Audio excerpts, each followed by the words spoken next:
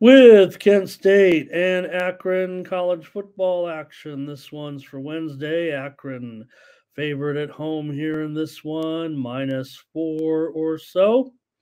And the total 38 and a half. That's down from a high opener of uh, well, we did see when we did the circa when we did the opening line report show on Sunday, we reported that uh, we saw as high as 43 and a half. Also, I've seen as high as 44 and a half, but look what we're down to now here in this one with a total uh, at 38 and a half. Maybe we do need to correct it. Maybe the weather's peaked a little bit here uh, in Akron and Akron is up to uh, four, four and a half point favorite at some spots. So we're also seeing a move to the favorite here with Akron. Wow.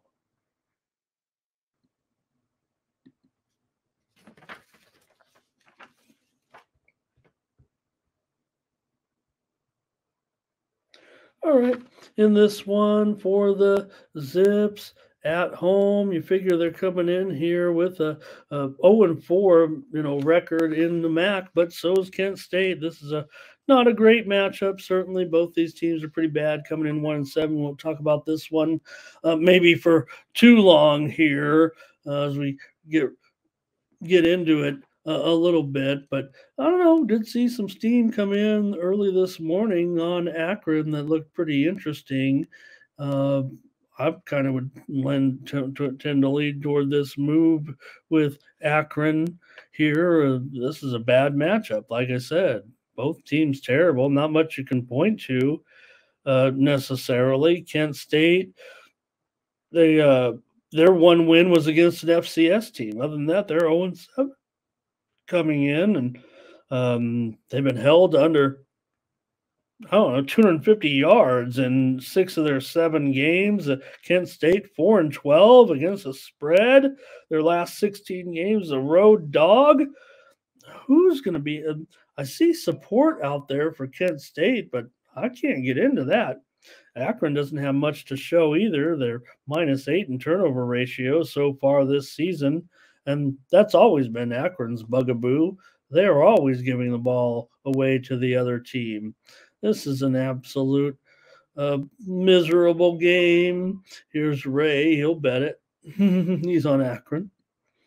And we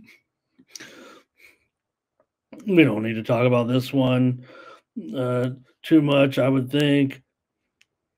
So, I don't know. Akron, they've covered some spreads at, in conference with this coach. They're up to four. It doesn't feel very comfortable. Who wants to lay four points with a one and seven team, but I don't know. That's probably what I would do. Akron doesn't cover any numbers either. They've uh, 18 and 31 against the spread in their last 49 games overall. I mean, that's five seasons of play and uh, a really dismal record. Now, Kent, they've won three of the last four in the series and covered three of the last four of the series. Series is six and two to the under in the last eight meetings, but man, this total continues to go uh, low like this. I don't know. I would I would tend to think that uh, this one maybe could be a, an over just because I don't think a, uh, again, I'm sure there's some weather we saw last night all up uh, through those games through in Ohio. That in Toledo there was snow. In uh, the Central Michigan game there was uh, snow as well. So, oh man, okay. But uh, you know that total looks low. That look, we are we are two zero oh last night going over, and uh, I might just be willing to do it again here and go um, and go over. But let me take Akron. I'm going to go with the Zips and lay the points at home here uh, on the Maction Tuesday night. All right. That's all right. We don't want to. Uh,